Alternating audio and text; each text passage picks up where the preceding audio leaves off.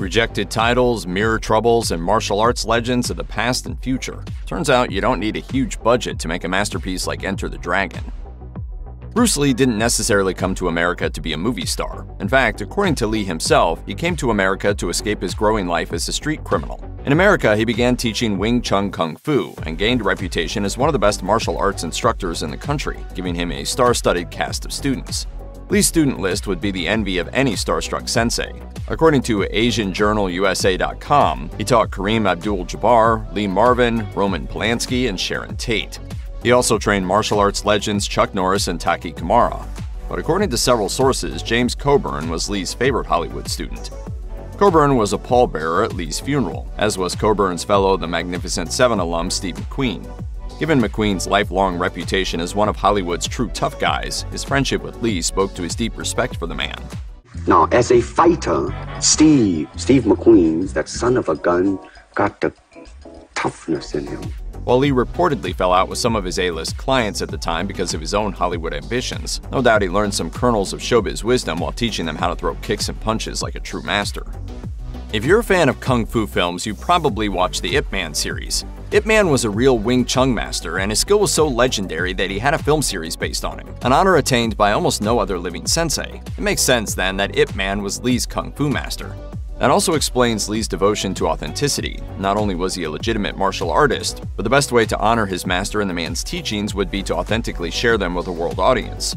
Ip Man was such a legendary and skilled martial artist that not only did he inspire the four Ip Man films in the main series and several other standalone Ip Man films, but he's also the focus of a film called The Grand Master. The actor who played Ip Man in the popular series, Donnie Yen, would achieve American mainstream success for his role as a Force monk in Rogue One, Star Wars story.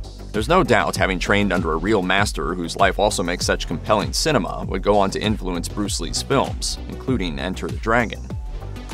Although Warner Brothers Pictures got behind Enter the Dragon and bet on Bruce Lee becoming a star, he still had trouble convincing the executives there of his vision. Lee's daughter Shannon wrote in her book Be Water, My Friend, The Teachings of Bruce Lee, that her father battled the studio over the Enter the Dragon screenplay. As Shannon put it, the original script had none of the iconic scenes that exist today. Boards don't hit back. Warner Brothers reportedly brought in a screenwriter who didn't know much about kung fu. Lee protested, and according to Shannon, the star himself rewrote most of the screenplay. Although Warner Brothers promised to get rid of the writer, the studio secretly sent him to Hong Kong instead to continue working on the script while not incorporating any of Lee's changes. As a result, Lee did not show up to begin filming for two weeks, a standoff with the studio that he eventually won. His changes were utilized in the screenplay, and Lee made Enter the Dragon well and truly his own. Bruce Lee's issues with the film and script also included his dislike for the alternate titles that the studio wanted to use, including Blood and Steel and Hans Island. The big problem seemed to be that the studio wanted a blood filled fighting movie, while Lee wanted something more transcendent, steeped in the philosophical pursuits that had defined Lee's martial arts pursuits. Blood and Steel hinted at a lurid action movie, which could be considered a draw for an audience whose knowledge of kung fu was limited at the time. It might have also been a reference to the steel blade hand that the villainous Han busts out in his fight against Lee. Hans Island was a pretty on the nose title that simply explained the setting of the movie a tournament on Opium Kingpin Han's private atoll. Enter the Dragon gave the movie the depth that Lee brought to his martial arts, and the dragon in the title hinted at the heritage that was so important to Lee. For Lee, bringing legitimacy to his first big Hollywood film was everything. He wanted it to be as genuine as possible, from the locations to the philosophies he studied. Even more important to him was the authenticity of the martial arts practiced in the movie. A good fight should be like a small play, but played seriously. John Saxon, who played Roper, trained in judo and karate for years before Enter the Dragon.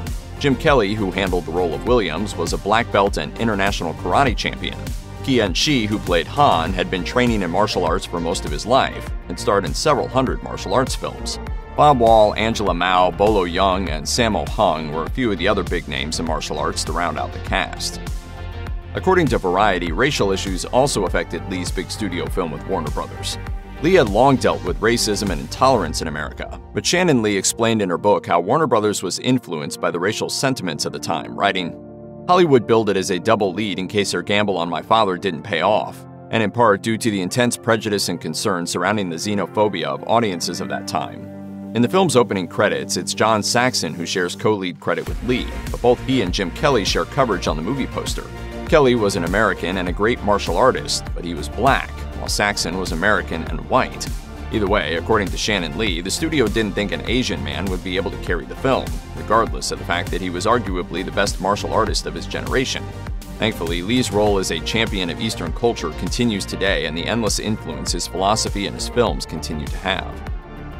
One of the most eye catching scenes in Enter the Dragon is the one where Han lures Lee into a hall of mirrors. The disorienting nature of that scene isn't just a camera trick, it was actually a tough scene to execute. They had to build a closet full of mirrors, then shoot inside it despite any and all challenges of reflection, lighting, and movement. Cinematographer Phil Hubbs went through the process in a Q&A about the film. According to Hubbs, the sequence was director Robert Clouse' idea. When they shot it, they would cut a hole in a different spot in the mirrored wall to move with Bruce to a different location. As Hubbs explained, that complicated the image a lot because we were shooting into a mirror and the mirror bounced all around. You actually got nauseous in the room. Bruce banged himself into the mirrors a whole bunch. For a movie that was so financially successful and had such a lasting legacy, you might be struck by how few household names star in it. In fact, the only actor from the movie who would go on to achieve stardom was an unnamed extra, a young martial artist named Jackie Chan. Chan would continue making movies, gaining attention for Drunken Master in 1978 and then the Police Story series. It should be noted that both were produced by Golden Harvest, a company owned by Raymond Chow that got a huge boost from Bruce Lee films. Most Western audiences first discovered him in Rush Hour, and he's been in seemingly countless Hollywood action films since. Since Enter the Dragon was a martial arts film shot in Hong Kong with a mostly Chinese cast, there was bound to be some peacocking. The extras had some training, and supposedly one of them actually challenged Lee to a real fight. Many people wanted to test Lee's fighting skills, as is standard within the martial arts community. According to a vintage interview with cast member Bolo Yeung, Lee was too fast for his challenger and won, although the extra did land a few blows. In the end, whether participating in a choreographed or actual fight, it seems Lee couldn't be defeated by fist, foot, or weapon. The budget for Enter the Dragon was $850,000, which might seem low, but at the time there had been no big Hollywood martial arts movies. Producer Fred Weintraub explained in a Q&A for the film's 40th anniversary release that it was tough to get the funding, saying, I had to go to foreign investment. The foreign guy told me, well, I can get you two or three hundred thousand out of the Far East. And I said, that's all? You have offended my family, and you have offended the Shaolin Temple. Apparently, the Chinese market was not interested in an American film starring an actor from Hong Kong. After that, Weintraub approached Warner Brothers co owner Ted Ashley to ask for another $300,000, which Ashley agreed to provide with the condition that he did not spend a dime more. The hustle paid off in spades, however. Enter the Dragon landed at number 13 on the list of top grossing films of 1973 and was Warner Brothers' third highest grossing film of the year. Enter the Dragon not only showed that martial arts movies could play in America, it showed that they could dominate, with the movie ultimately earning more than $21 million in the US alone. According to an interview with Fred Weintraub by Black Belt magazine, the nightclub owner turned producer at Warner Brothers had learned about Lee through his Golden Harvest films and wanted to make a Hollywood picture with him. When Warner Brothers finally produced Enter the Dragon, it was Lee's first great exposure on American soil, aside from his role as Kato in the short lived 1966 TV series The Green Hornet. After the success of Lee's Hong Kong movies, he was finally able to make a Hollywood movie and make it on his terms.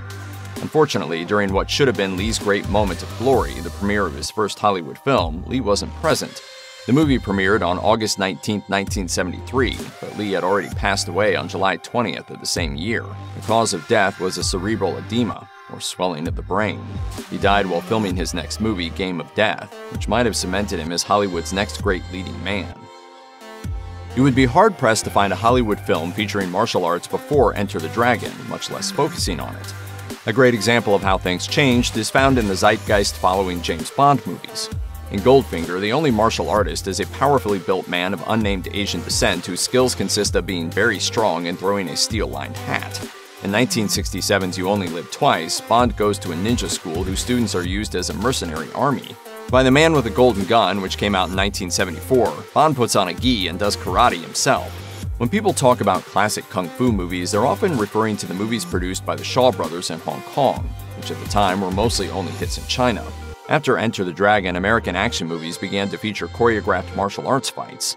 Martial arts swept the UK and North America in the early 1970s and never left.